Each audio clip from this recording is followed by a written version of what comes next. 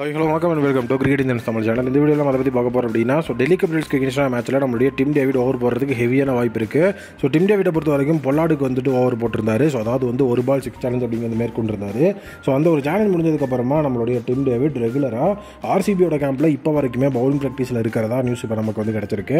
So dim டேவிட்டை பொறுத்த வரைக்கும் அவர் already வந்துட்டு ஒரு ஆல்ரவுண்டர் தான். ஸோ ஐபிஎல் அது மட்டும் இல்லாமல் ஆஸ்திரேலியன் டீம் இந்த மாதிரியான விஷயத்துக்குள்ளலாம் அவர் வரதுக்கு முன்னாடியே சிங்கப்பூர் சைடில் அவர் வந்துட்டு லீக்ஸ்லாம் ஆடும்போது ஓவர் வந்து ரெகுலராக அவர் போட்டுட்டு இருந்திருக்காரு.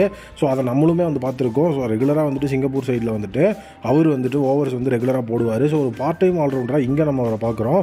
பட் ஆனால் வந்துட்டு அவர் அங்கே வந்து ஒரு பியூரான ஒரு தரமான ஆல்ரவுண்டர் பிரைமரி ஆல்ரவுண்டர் அங்கே அவரோட டீமில் ஸோ இதுக்கப்புறம் வந்துட்டு ஐபிஎல்ல தான் அவரை வந்து ஓவர் அப்படிங்கிறது கொடுக்காம வச்சுருந்தாங்க. ஈவன் வந்துட்டு பொல்லாடோட பேக்கப்பாக தான். ஸோ டிம் டேவிட் அவங்க எடுத்தாங்க. ஸோ பொல்லாடு வந்துட்டு ஒரு ஆல்ரவுண்டர். ஸோ அவர் வந்து ஓவரும் போடுவார். பட் ஆனால் டிம் டேவிட் கிட்ட இப்போ வரைக்கும் மும்பை இந்தியன்ஸ் இந்த ஓவர் அப்படிங்கிற மாதிரி விஷயத்த வாங்கினதே கிடையாது. ஸோ இதுக்கப்புறம் வந்துட்டு பொல்லாடு அந்த இடத்துல வந்து நோட் பண்ணி ஸோ என்னோட ரீப்ளேஸ்மெண்ட்டை தான் நீங்கள் அவங்க வச்சுருக்கீங்க. ஸோ அதனால் வந்துட்டு ஓவர்ஸ் அப்படிங்கிறத வந்து போடணும் அப்படின்னு சொன்னாரான்னு தெரில பட் ஆனால் அதை கண்டுபிடிச்சதே பொல்லாடு தான். பொல்லாடை பொறுத்த வரைக்கும் பேட்டிங் கோச்சு அவருடைய ரோலை க்ளீனாக பண்ணிட்டு ஸோ அந்த இடத்துல மணிகர்கிட்டையும் பவுலிங் அப்படிங்கிறதுக்காகவும் நிறைய ஐடியாஸ் கொடுத்துருக்காரு. அதன் விளைவு தான் இந்த இடத்துல வந்துட்டு நம்மளுடைய டிம் டேவிட் ஓவர் போட்டிருந்தது. ஸோ அவருடைய அந்த ஒரு ஸ்ட்ரைக்கிங் பவர் எப்படி இருக்குது ஸோ அதாவது அவரோட லைன் அண்ட் லென்த் எப்படி இருக்குது அப்படிங்கிறதெல்லாம் பார்க்குறதுக்கு தான் ஸோ ஃபஸ்ட்டு வந்து பார்த்தீங்கன்னா அவங்க ஃபேஸ் பண்ணதே. பொல்லாடு வந்துட்டு டிம் டேவிட் ஃபேஸ் பண்ணது.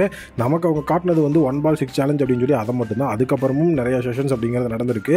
ஸோ அதை பெருசாக நம்மக்கிட்ட காட்டலை. ஸோ வந்து டெல்லி கேபிட்டல்ஸை சர்ப்ரைஸ் அப்படிங்கிற ஒரு இடத்துல வைக்கிறதுக்காக கூட இந்த ஒரு விஷயம் நடந்திருக்கலாம் அப்படின்னு சொல்லப்படுது.